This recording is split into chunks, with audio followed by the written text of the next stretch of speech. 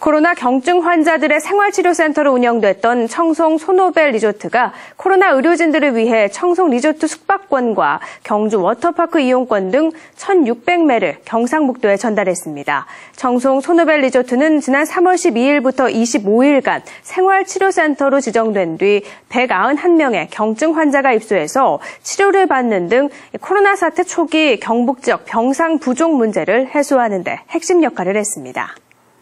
지금까지 데스크 간추린 뉴스였습니다.